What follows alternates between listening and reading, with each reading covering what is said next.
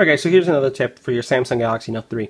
So let's say you're in a meeting or you're in school in a class and you want to check and see if you've gotten any calls, you want to see the time, and you don't really want to turn on your phone.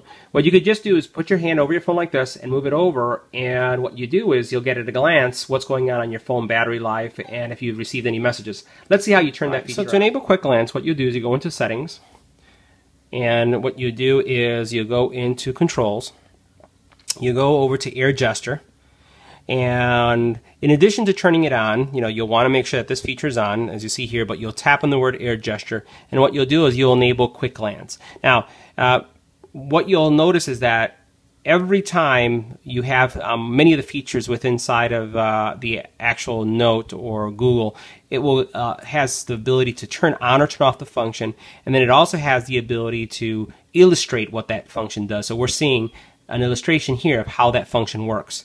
Here you can determine which things you want to see in the quick glance and which things you don't. And all you simply do is just tap to turn each one of these things on or off, as well as you have the ability to try it to see how it would work.